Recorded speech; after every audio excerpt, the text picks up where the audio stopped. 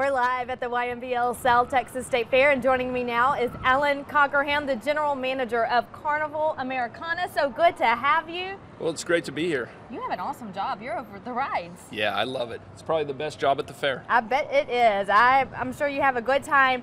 Uh, we have a few new rides uh, this year, and one of the ones that's already a big hit is the roller coaster. The roller coaster, yes, it's back again. We uh, we had a roller coaster a few years ago. Uh-huh. Uh, it's been absent for a couple years, and Okay. now we have a brand new roller coaster. All right, sounds good. I know last night the kids were loving it, so make sure your kids ride the roller coaster. What else can we find out here this year? Well, we really have rides for all ages. I think this is one of the best midways, actually, that uh, is ever presented in the state of Texas.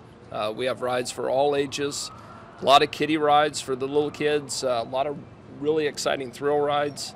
Um, if if you like to go fast, we have rides that go fast. If you like to go high up down? in the air, yeah, upside down, whatever you like to do. Yes, there's something for everyone. Now, um, you do a lot of traveling, and you've been to uh, Southeast Texas many a times, but you travel all over the state and Colorado, so you're really always on the move. Yeah, we're lucky. We get to uh, see a lot of the country. Uh, we spend our summers up in Colorado, Wyoming, South Dakota, some, some beautiful sites in the summer.